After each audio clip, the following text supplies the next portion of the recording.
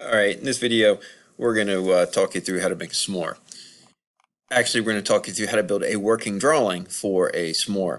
Uh, what you see here in front of you on the screen now, go ahead and zoom back out so you can see a little bit better, is a working drawing. A working drawing consists of uh, multi-view drawings of parts that are then used together to create an assembly. So that in this working drawing, you have an exploded view drawing, and you also have the uh, multi-view drawings of the parts that comprise uh, that full assembly.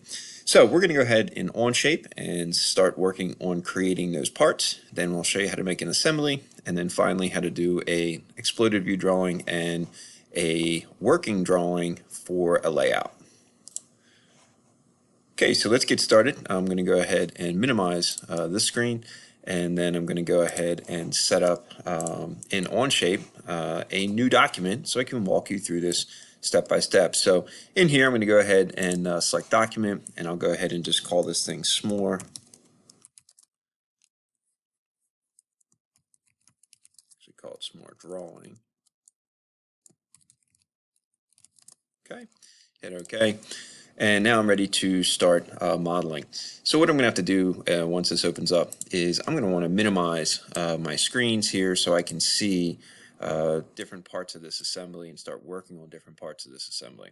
So if I go ahead and zoom in on this, um, we can go ahead and start with this first part. This is our graham cracker. Um, we'll go right ahead over here in shape, And with this set up, I can start a sketch and I can go right away and put this onto the front work plane change to my front view, grab my uh, rectangle tool, and I'm just going to sketch in a quick rectangle.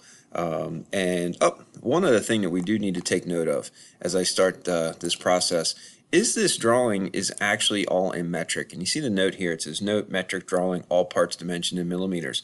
So what that says right off the top is when I get started, all of these uh, dimensions are millimeters and what I need to do is before I start drawing here, I need to actually go ahead and change my workspace units.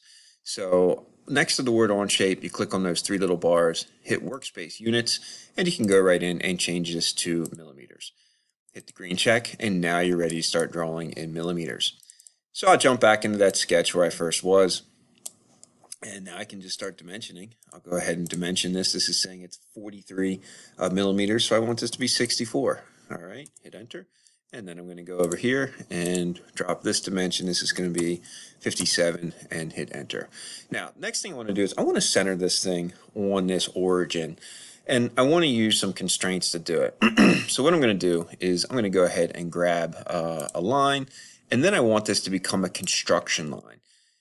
I want this so that, and then uh, use this to actually constrain to the center markings uh, of the sketch. So to do this, I'm going to find the uh, little midpoint on the top line and draw down across the part.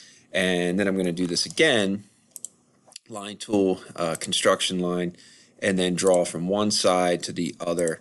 And the next thing I'm going to do is start working with my constraints. So I'm going to pull down my constraints, and I'm going to use this coincident constraint to then say I want this line to not leave this line. And it moves over. I'm going to do it again. I'm going to tell this line not to leave this line of the sketch, and it now centers itself on the origin. So that's great. Now I know that if I ever needed to go back and make edits, I can do that. This will also make it easier to assemble once we needed to uh, jump into the assembly. Okay, now I'm ready to go ahead and start extruding. Uh, have the rough shape of this more set up. So I'm going to grab my extrude tool, grab the inside of that extruded area, and then take a look and see that this is a 5 millimeter extrusion. So we'll go ahead and set this up as a 5 millimeter extrusion. So there it is, the rough outline of the s'more, or I'm sorry, rough outline of the graham cracker.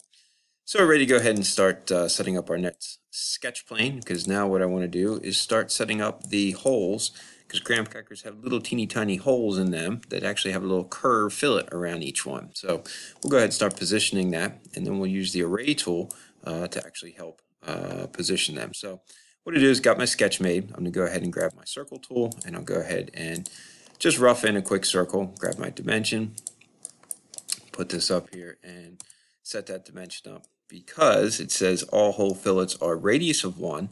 And then what I'm looking at over here is in this detail view drawing. A detail drawing is where you can see a, a smaller section of a, a drawing has been blown up in size. You can see the scale is four to one. So this little section right here is what I'm looking at here, only a much larger uh, scale.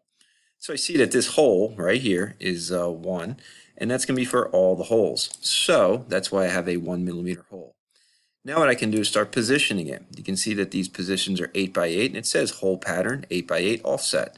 So I can then make that assumption that uh, from the note I can place every single one of these at an 8 by 8 pattern. So see if I can get this dimension to jump into position for me. All right. Oh, not 83, just 80. No, there we go. There, that's in. And then we'll keep going and place that dimension. There we go. So now that is in there, and I can finish that uh, sketch and actually go ahead and extrude this hole. So go ahead and extrude that hole. And it wants to join right away. I want to remove or take away material. And the thickness I'm going to then cut this thing is 5. All right, so now I have a hole. So the next thing I want to do is I want to go ahead and put a small fillet around the top of the hole. So with that set up, I'm going to go ahead and put in that uh, fillet radius, because this is all in radius of 1, and then select the top of that circle. It makes that nice curve uh, that you would see at the top of that graham cracker. Okay, now we're ready to start the pattern. And with a pattern, we're going to use this linear pattern tool. And first thing it's asking for is the entities to pattern. Now, what I've found is um, what it seems like it likes better is if I grab these patterns over here. So I'm going to go ahead and grab the extrude 2 and the fillet as the entities to pattern. Before I can select those, I need to pull this down and actually I want to pattern a feature. So it says feature pattern. Then I should be able to come over. There we go. I can start selecting extrusion 2. It actually highlights in my drawing here. And also fillet 1. So they're the two things that I want to uh, actually pattern. So those two features together. Now I want to know the direction. So what's the direction that I'm going to actually run this thing in? Well, I'm going to click the edge that it will run in a linear manner with. So it's going to then start making a pattern. There's two. And I need one, two, three, four of these across the top. So I'm going to then highlight this and make this four.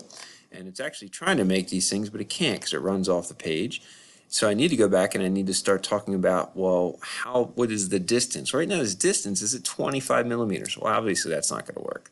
So I'm going to go ahead and tell this thing that on the top of the screen here, from this one to this one, it's going to be 16. Okay. Click in another cell and you can see that update in my drawing.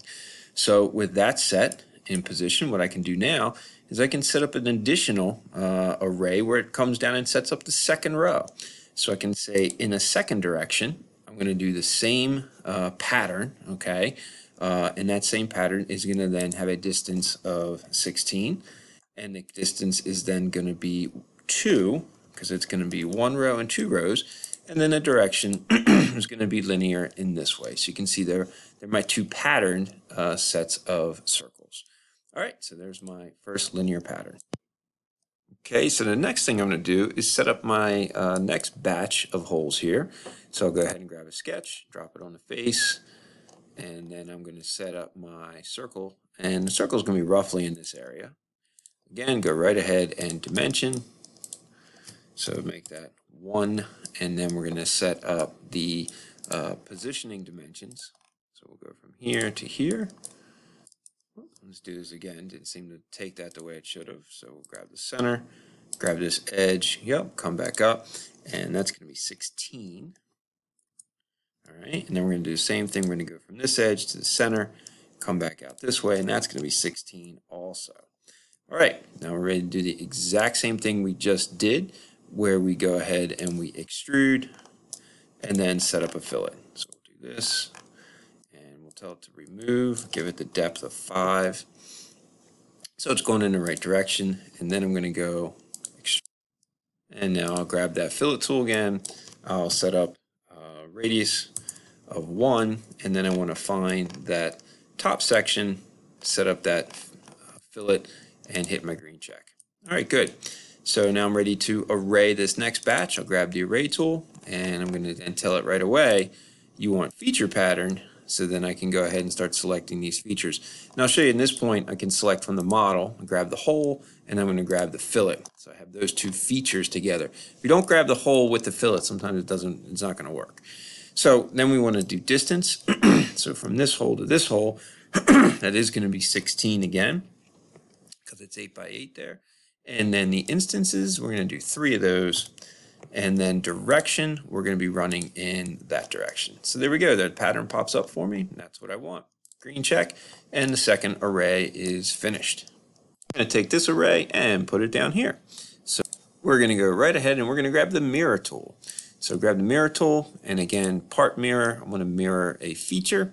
And I'm going to select my features from over here again. Um, so I mouse over these features. I'm going to say that's linear pattern 1. I want linear pattern 2, and I can see them highlighting. I also need to have extrusion 3, fillet 2, and I need to have this extrusion uh, 2 and fillet number 1. Then I have everything highlighted. Now it wants to know, well, what's the plane that's going to be the mirror plane? Because I set this all up and it's set all my origins, I can then grab mirror plane and then I can select the plane that is actually the center plane between these. So I'm going to move this so you can kind of see what I'm selecting here the easiest way. So if I select this plane, that's cutting this part in half. So it's going to mirror to the other side of that part. There's the array at the bottom and the green check and now all the holes are finished up. Now we're going to grab our sketch tool, drop it on the face, turn and take a look at it again, and now we're going to start working on these little slot features here. So to do that, I'm also going to slide over here so I can see uh, this uh, detailed drawing and see where they're going to go and how big they are and everything else. So let's start taking a look at that. Okay, so to start a slot, you have to understand what a slot is. A slot's going to be two circles with lines uh, going back and forth across them. And um, what I'll do is first I want to set up our center line across this part. So what I'll do is grab my line tool, again grab a construction line, and I'm going to put a construction line across here so I know that I'm working on that line. Then I'm going to go ahead and grab a circle, and on that line I'm just going to draw a circle. And again, I'll draw a second circle, go ahead and dimension them right away, and these are going to be one inch. I'm sorry, one millimeter. Do this again, one millimeter. And then I want to dimension the distance between these two uh, circles right away. Do this again, make sure this distance is set. One circle, two circles, there we go. And I come over to my drawing, the distance between these two center marks is going to be uh, 1.25. 1.25 pulls these two together. And now I want to go ahead and start finishing up uh, the size of these circles. And actually, these aren't right. So look at this, this is saying R uh, 0.25. So the radius of this is not uh, right now that this, the diameter is 1, so it means the radius is 0.5. I got to change this. This actually should be 0.5 for diameter. Do the same thing over here, 0.5 for diameter. And then the radius is 0.25 because that's half the diameter. So that's the right size. So given that that is now the right size, I'm going to grab a line and I just want to sketch a line in across the top of here. Um, not really worried about the uh, connectiveness of this line because I want to make sure I can push it to be tangent myself. So if I do this, I'm going to then come up here to my constraint tools and I want to then select tangent and I want to tell it this line you're going to be tangent to this object and this line you're going to be tangent to this object. And I'm also noticing these objects are actually on the construction line. Don't want that. I want these to become standard lines. Easy to fix. Just go ahead and select those. Click on the, the swap tool here and they'll swap themselves out. All right, now I'm ready to trim. So I'm going to then find my trim tool. And I'm working in this tiny screen. It is tough sometimes to remember where all these little items are jumping around to. So where is that trim tool? There, coincident. There's my trim tool. So grab my trim tool. I want to then trim this little line off of here. I want to trim this little line, this little line, same with these insides, because now I got to have a slot. Here I'm going to zoom in nice and close so I can make sure I'm grabbing what I need to grab. All right, so I have a slot all set and ready to go. So, well, I'm not ready to finish that sketch. This thing's not positioned to the edge. So next thing I'm going to jump back into that sketch, edit the sketch again. Now I'm going to grab my dimension tool and go from the center out to this edge, pull this down, look at my drawing, and it's saying that from the center of this side of the slot over to the edge. Up oh, there it is, 2.12. 2.12, hit enter, pulls the whole thing across. So that's great. Now, ready to extrude, fillet, and use the uh, array tool. All right, so let's go ahead and we'll grab the extrude tool, select that object, hit remove so it goes in the other direction, five millimeters, green check. Now we're ready to do the same thing with the fillet. Uh, to be one for the radius, select the edge, and it works itself all the way around there right away. So that's all set and good. So we have the fillet. Now we are set and ready. We can go ahead and um, uh, start creating this array across this part. So we'll grab the array tool, or the, I should really call it the right uh, linear pattern tool. Again, patterns, we want a feature pattern, and then I want to be able to select this uh, inside slot feature, and then I want to select the fillets that are running around the outside edge. So I have those fillets set up, I have the slot feature. So the distance that we're going to run in between each one of these objects, we're going to, to set that. We're also going to have to set how many we need. So to know how many we're going to need, I'm going to come over here and just count the drawing. 1, 2, 3, 4, 5, 6, 7, 8, 9, 10, 11, 12, 13, 14. So this number becomes 14. Now, we got to talk about the distance. Well, I got to look at this detail drawing. And an array is going to go from one side of the feature to the exact other side of the other feature. So here we're looking at uh, 3.25 being the distance from one side of the feature to the other side here. But then we got to know how big the feature is. Well, that's 1.25 also. So here we have 3.25 and 1.25. Got to add these together uh, to get the distance from one side of the feature to the other side of the feature on the same um, plane there. So it takes into account the, the size of the feature plus the distance between. So that's uh, four and a half. So then this becomes 4.5. Now we just got to tell it. Um, so there's 4.5, 14. Yep. And the, the distance or the, the uh, direction uh, selected here is uh, this edge. So we're set. We're good with the extrusion. I'll hit the green check. And I can see that I have my fillet taken care of. This uh, pretty much, I believe, takes care of uh, the graham cracker. And uh, this would be our first object uh, finished up. Now, we'll continue to start working on the rest of our parts down here, but I believe we'll uh, jump that into a second part video here.